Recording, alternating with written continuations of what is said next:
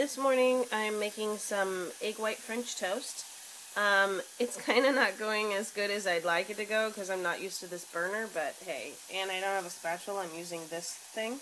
But uh, what I've done is I took some um, cage-free egg whites and I used coconut oil to grease the pan.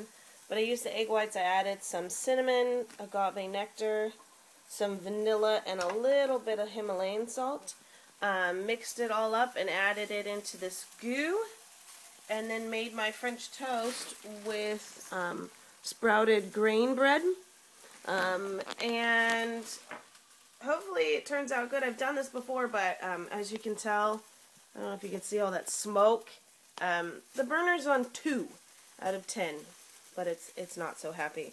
Oh, and over here for added protein, um, I've got some turkey sausage. So, here's my breakfast.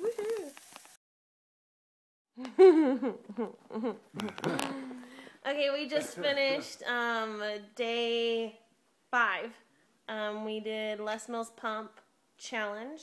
Um, I'm doing okay today. My right calf is super duper duper sore um, and my right thigh, but my left leg is totally fine, which is really odd. I don't know why that is, but the workout definitely helped stretch out my right thigh, but my right calf is still pretty hurt.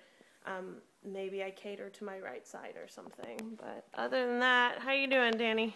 Uh, I, I'm I'm good. I'm good. I'm Hi. a little confused how much weight to use on the Les Mills because I'm getting mixed signals from my body. It's like easier for certain parts and then not for others. But uh, all in all, like I, I can't wait to see what this 90 days is going to do for sure. This hybrid workout between insanity, which is already kicking our butts, and then the, the weightlifting which I'm not a huge fan of, but like I keep saying, you know, the more reps, less weight. That's great. So I, this is going to be one hell of a transformation for sure.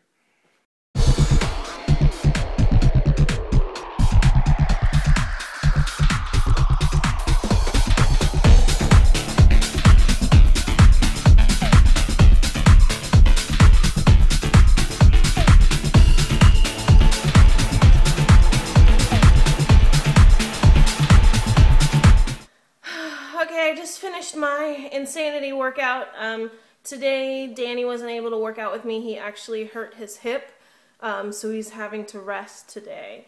Um, so it was just me in this workout, and if it weren't for my team, I definitely would have quit halfway through. Um, my laptop ran out of battery, and I had to run downstairs. And at that moment, um, it's so funny how that little tiny bit can so get in your way of i had that moment of doubt of well i did half of it. That's good enough right? And i just if it were just me i definitely probably would have walked away and been like okay i did half that's fine.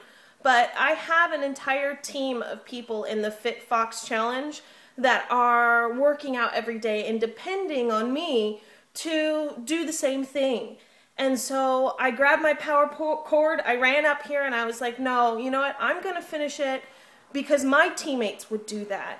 And I'd expect the same thing from them, so I have to expect the same thing from me. And um, so definitely having a team to hold you accountable obviously makes a big difference.